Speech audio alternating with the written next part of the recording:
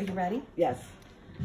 So you're going to go to actions and for name to face, you're going to choose the teacher who's doing it, click their picture, then choose the kids that they are viewing. And then hit done. And then hit done. Okay. There's two teachers in this room, so we need to go back to action. I said, I said actions, name to face, Tashima, and she's going to do the same.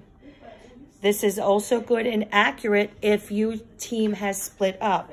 Oh, and Where- I have one kid out. Or I'm in the gym. So you two. have three kids in the gym. It's not going to show the location, but Nils is going to name to face the three kids she Oh, has, okay. and you name to face the five, ten, So the other day when I was in the have. gym and she was by herself, but that was we could have done that. I don't move. I'm too pretty. Cut. Hello.